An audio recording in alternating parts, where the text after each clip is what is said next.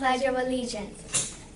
I pledge allegiance to my flag of the United States of America and to the republic for which it stands, one nation, under God, indivisible, for the liberty and justice for all. Thank you.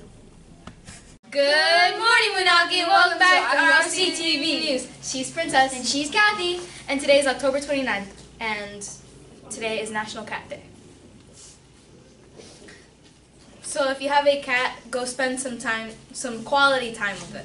Yeah, cuddle with it. You know, Kathy, I actually prefer, prefer dogs and cats. No offense, cat, bee.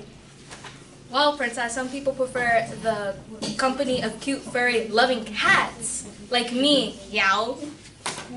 I was just saying. Well, nobody's perfect. Also, it's three days until Halloween. OMC, I'm really excited. OMC. Yeah, on my cat. Are you gonna do anything for Halloween, Kathy? Maybe going trick or treating with my friends.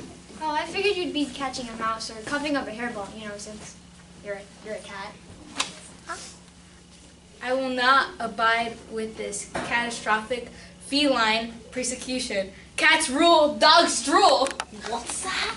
Offended. Well, today's birthdays are Tyler Bueno in the seventh grade. Sorry for pronouncing it yesterday, but your birthday was Eston Bueno, so we had to say it twice. Happy birthday! Tyler! It is also famous movie actress Winona Ryder. I feel like I know who that is. Yeah, she's Joyce from Stranger Things. Oh yeah, I just remembered. Yeah, she's turning 47 today. Cool.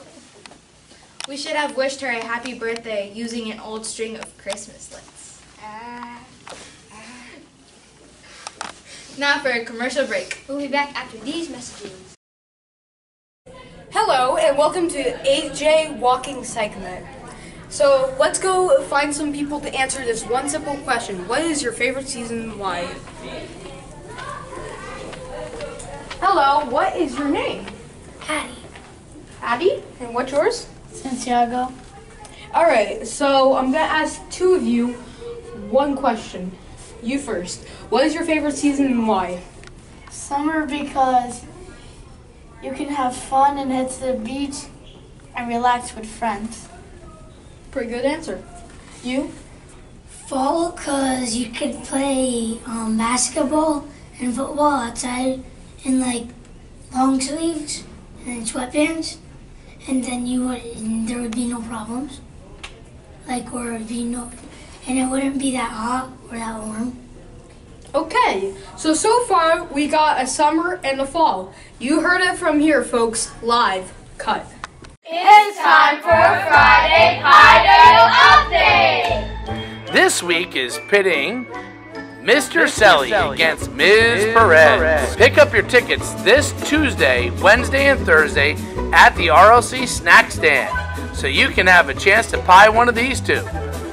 Winning students will be announced on November 1st. Stay tuned to find out which RLC staff member you'll get a chance to pie next on the next Friday Pie Day. You think you have what it takes to pie me? Ha! You think you have what it takes to pie me?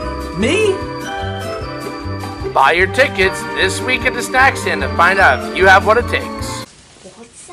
The word of the day is feline, Relating to our affecting cats of that cat family.